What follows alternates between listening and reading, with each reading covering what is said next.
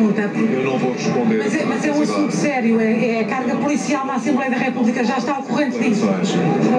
Não, sei que houve um problema no Parlamento, mas não, que não vou fazer declarações. As imagens ou não? O senhor está a fazer um momento de reportagem que eu não quero fazer.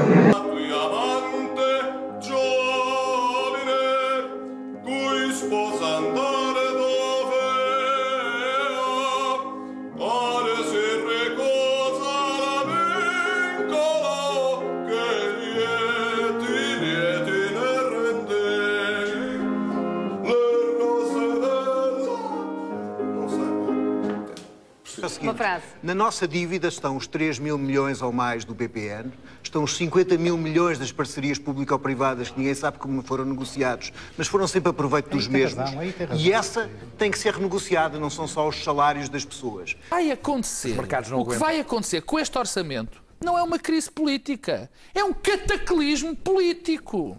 Um cataclismo. Porque é bom que os deputados saibam, os deputados todos, saibam quem votar nisto, quem votar nisto, está a condenar este país a décadas de desgraça. Clara. E estamos entregues à bicharada. Costuma-se dizer isto em bom português popular.